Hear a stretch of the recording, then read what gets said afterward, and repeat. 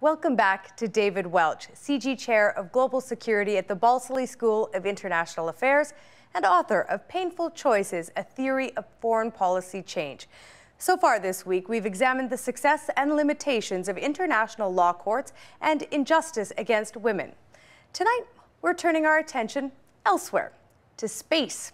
Who owns space? And do the laws of Earth even apply? David is here to answer some of those questions. Hi again. Nice to see you again. Let's start with the current laws that govern space. Who owns the moon and outer space? Well, from an international legal perspective, space is truly the final frontier. It hasn't had to be an issue until very recently because we haven't put anything or anybody in space uh, until the middle of the 20th century. So for the longest time, it was a topic that nobody even bothered thinking about. But now it's a real question. How do you actually govern space? And space is what we might think on Earth of as a, a commons, right? It's a, an area that's not physically occupied by anybody, uh, not a, on a permanent basis. It's not the kind of thing that would lend itself, obviously, to territorial claims because there's not much in the way of territory in space unless you're going to talk about the territory of the moon or the planets in our mm. solar system and so on. So uh, it raises a different set of issues that primarily have to do with the use of space for earthly purposes, which almost exclusively means um, allocating things like orbital slots for satellites and what, who gets to put satellites where, what kinds of satellites can people put up in space, who gets to decide uh, who gets the satellite slot if two countries want it, and uh, what, if anything, are people allowed to do if they don't like other countries' satellites. So these are the kinds of issues that basically are the subject of international space law. And there's a, a small but significant body of international treaties that does govern the use of space. And basically it boils down to a few set of, of basic principles. One is that nobody actually owns space. Space is reserved for the, the common use of humankind on peaceful terms and on sort of basically mutually uh, beneficial, mutually accessible terms. Um, space is not, by international law, space is not supposed to be a site of military conflict, so it's by treaty, uh, space is demilitarized. Uh, that is not to say that there's nothing in space that's militarily useful. Actually, there's quite a lot in space that's militarily useful, and if you didn't have things like uh, GPS satellites in space, the, the US Army wouldn't be able to function internationally the way it functions today. So lots of things in space actually have a military application. But uh, in, in theory, at least, you're not supposed to put weapons into space or to go up and blow up things that other countries have put into space. But as space exploration uh, grows, is, is that a growing concern as well, the militarization aspect?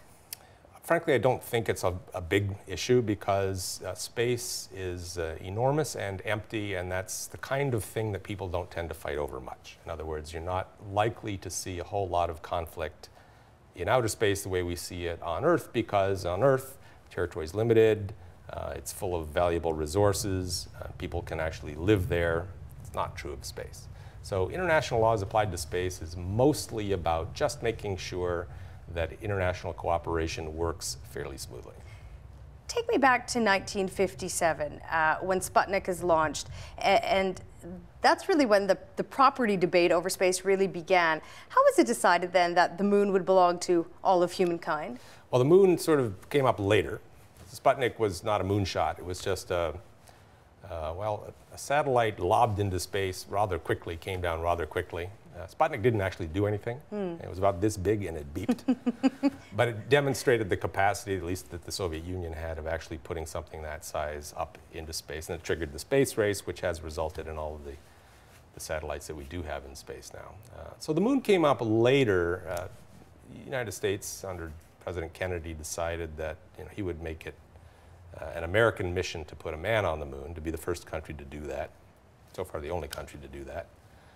Basically a symbolic act. There wasn't a whole lot of reason to send a man to the moon because there's nothing there. Hmm. Um, we did it several times. They brought back moon rock, which proved, interestingly enough, to be pretty much indistinguishable from the rock at the bottom of the Pacific Ocean.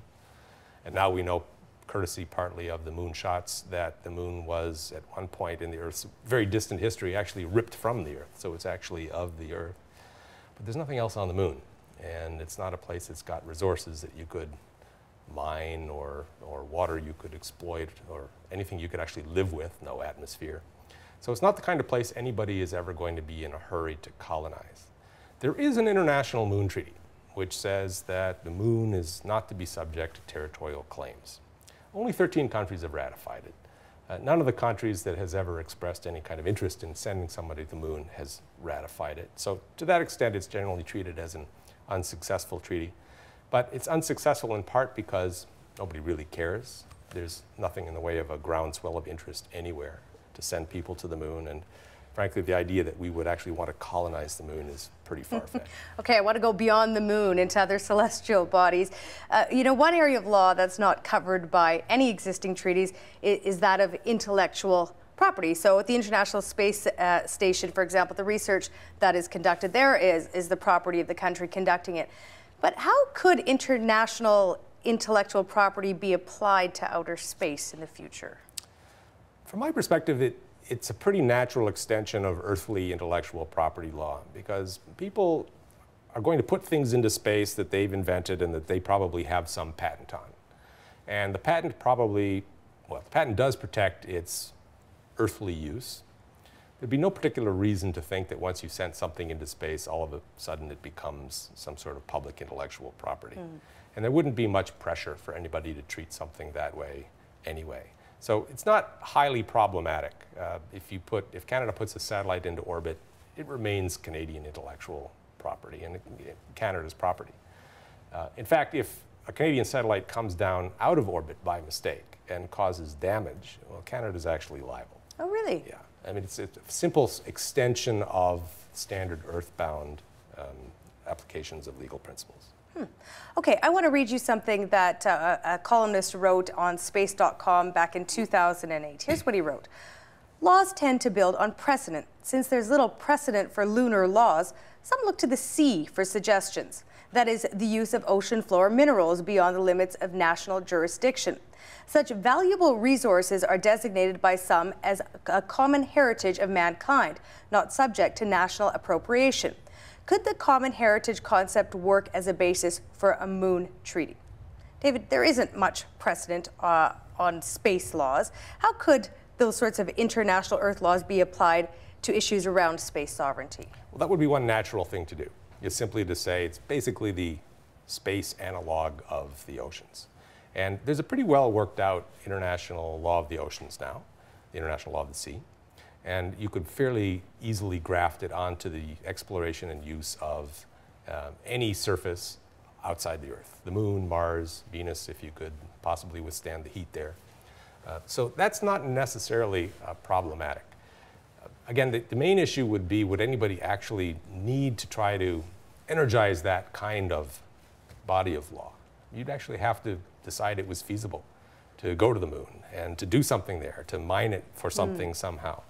And at present, that's just economically uh, unfeasible at the moment. So there's really no pressure to bother trying to articulate that kind of law. David, I want to switch gears here a little bit, but pick up on something that you said about mining. I'm wondering, what are the, talk about ethical implica implications. What are the ethical implications of mining celestial bodies? Well, they'd be a little bit different from some of the ethical implications of mining uh, on planet Earth, for example. You wouldn't have to worry about displacing populations that already live there or possibly further impoverishing them. So you'd have all that whole set of things, well, as far as we know, you'd have that whole set of concerns is brushed aside. So the, the ethical implications would probably rest entirely on what you did with whatever it was you mined. Presumably you would want to bring it back to Earth. Uh, here again, the economics are just uh, a huge barrier. Uh, there's no scenario by which it actually makes uh, financial sense to spend all the time and energy and money, millions and millions and millions of dollars, getting miners somewhere to retrieve resources back to Earth.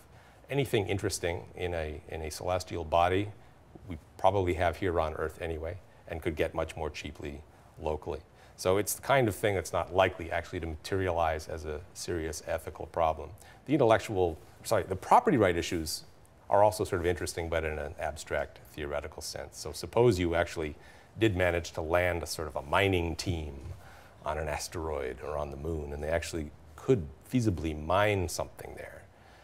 Would it raise an objection uh, on the part of anybody else? And here again, if you treat space as a commons, the way mm. we treat the oceans, the answer is no. Everybody has an innocent right uh, to the use of the ocean's resources uh, in non-territorial waterways as long as there is enough and is good left for everybody else, as John Locke wrote way back in the 17th century. Okay, let me try this one out on you. It's probably not going to happen in our lifetimes, but let me try this out. You know, international space law raises the question of terraformation, which is putting, changing the atmosphere in space to put people like you and I uh, up there, making habitable. What sort of ethical questions might that raise? Well, if you could do it, it might raise some really interesting ones. And here, I think we're in the realm of science fiction. Uh, I suppose the real ethical issues would be what happened on those those planets or those moons where you actually did terraform form and actually created inhabitable space.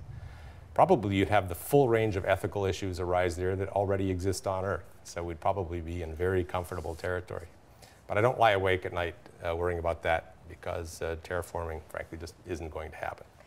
We talked about this earlier about the Moon Treaty of 1979 and, and only a certain number uh, of supporters behind it. The U.S. and other spacefaring nations rejected it. And some argue that it's time now to reintroduce that debate. Do you agree with that? What for? I, I see no country really seriously thinking about doing anything interesting with the moon. Uh, a couple of countries every once in a while, such as India, say at some point we would like to actually send somebody to the moon. That would be an entirely symbolic thing. Mm. Uh, they would go, plant a flag, and come back, uh, just the way the Americans did, bring a few rocks with them. I can't imagine anybody seriously objecting to that. So there's not the kind of demand for a, a, detailed rubric of international law to govern the use of the moon that would actually require us to spend much time and energy on it we have more important things to worry about right here on planet Earth. Okay, and that's where we'll have to leave it for now. Thank you very much, David Welch, for this entire week. Great conversation. Thank you. My pleasure.